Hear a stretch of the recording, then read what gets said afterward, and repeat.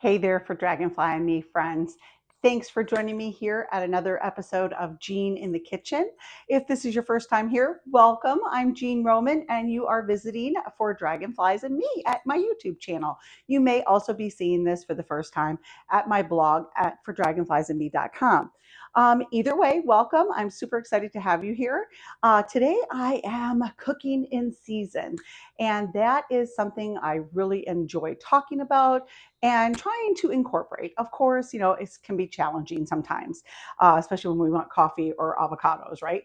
But um, it is spring, and right now at the farmers markets or in our own garden, we have been harvesting asparagus and maybe some young lettuces and other greens. But another uh, crop that we are harvesting right now is rhubarb. Um, I was at the farmer's market the other day and I picked up a pound of rhubarb, uh, fresh garden picked rhubarb. You can also buy this in some grocery stores if you don't live near a farmer's market.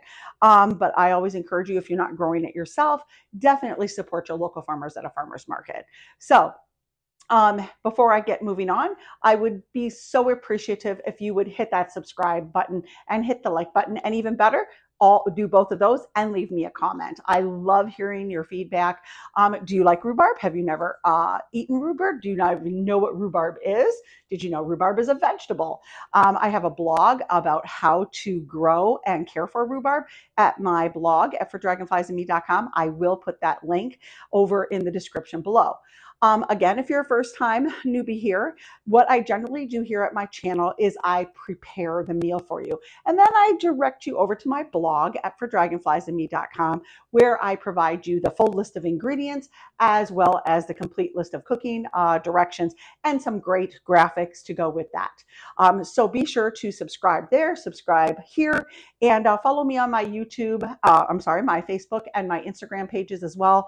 I do all kinds of cool re reels and I also have a podcast, which I do post here as well. If you don't have time to watch, head on over to uh, Spotify or any of the other platforms and listen. I have great conversations with incredible people.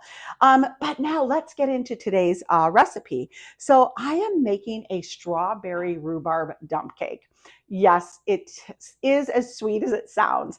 So there's just basically one, two, three, four, five, six ingredients. And when I direct you over to my blog, um, you're going to see my 12 uh, year old son making this dish. This is a delicious, sweet dish. Rhubarb can tend to be a little tart, um, but that's okay. Um, if you like tart, a lot of people do. This recipe kind of blends a sweet tart uh, combination and is delicious. So even if you don't think you don't like rhubarb, you will love this. Um, I am also, this is your first time here, I'm the author of a cookbook, Lovingly Seasoned Eats and Treats. And I wrote this cookbook with a friend of mine during my Mennonite days. Uh, this cookbook is about a thousand pages. It has, oh, I'm sorry, 500 pages with almost a thousand recipes. A hundred of those are my own. And also this cookbook has an incredible canning section.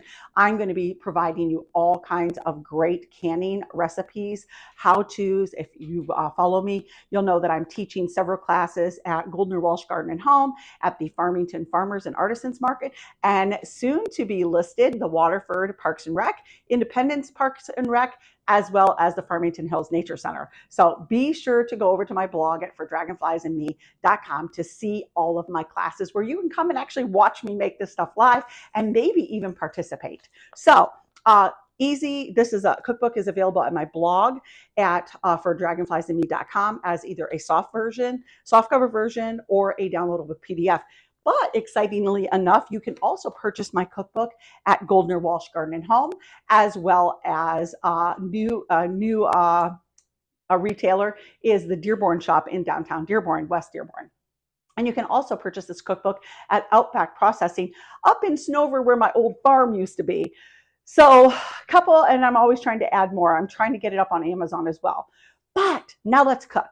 So I've already made one for you so you can kind of see um, what this is looking like. It is delish. And so I'm going to just tip that up a little bit for you guys to see. Um, but yeah, let's make it. It literally takes maybe five minutes to put this together.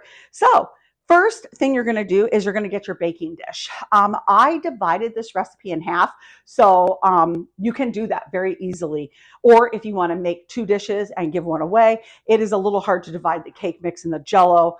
Um, but uh, generally, this recipe calls for one pound of rhubarb. So when you go to the farmer's market, you generally purchase it in half pound or one pound bundles. So make sure you ask your farmer's market vendor. So right now, I'm going to take, and one more thing. There are a couple varieties of rhubarb. There's either a real green one, which you'll see on my blog when my son is making this recipe, and there's also a red rhubarb.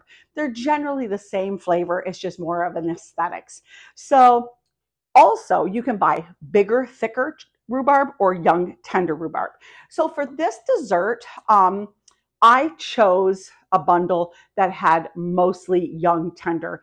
And most farmers market vendors will bundle them appropriately.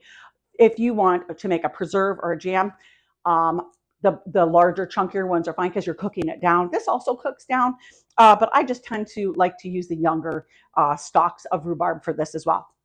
If you have your own rhubarb plant, uh, you can watch my YouTube video here on how to properly harvest rhubarb. And yes, there is a proper way. So for the last time, let's get this going. So first I'm going to take my pre-cut rhubarb and I've cut these into about one inch chunks and that's what you want to do. And you want to try to get a single layer of rhubarb. So right like that. Okay, friends, there we go. And the next thing I'm going to do is I'm going to sprinkle my strawberry jello. Um, you can use raspberry, but I really do. Strawberry rhubarb is kind of a, you know, they go hand in hand. So you can make a strawberry rhubarb jam, which I'm going to show you uh, in the next week or so. Uh, strawberries are not yet in season, but I am going to show you how to make my strawberry rhubarb jam. If you missed my how to make uh, homemade freezer strawberry jam the other day, be sure to head over to that um, because uh, once the strawberries come in season. So let's spread this jello powder evenly over the rhubarb going to distribute that pretty evenly. And it's going to go kind of cover and it's also going to fill in some gaps. So there we go. The next thing I'm going to do is I'm going to take my sugar and I'm going to sprinkle that over here. Yes, I know, friends. I know what you're thinking. You're like, oh my gosh, that's a ton of sugar. But uh, we had water and uh, it's, it's rhubarb too. So we are getting our vegetables in here. And, you know, every now and then it's fun to splurge. I don't suggest you eat this uh, every day. But during rhubarb season, we get rhubarb for two weeks, maybe again if you're lucky in the fall. So you can splurge a little bit.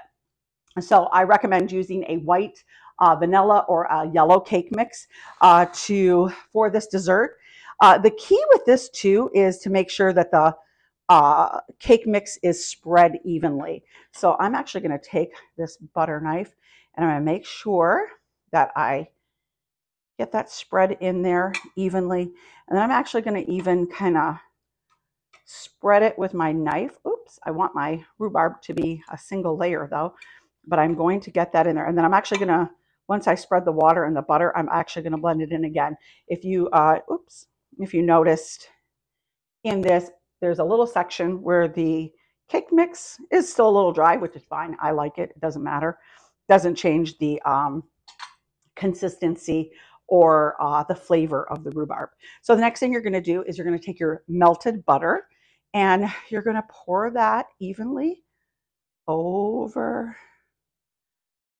your mixture. And I have a handy dandy spatula there to get every single drop. Because what do I always say for those of you who come here all the time, visit me, uh, bacon and butter make everything better? It does.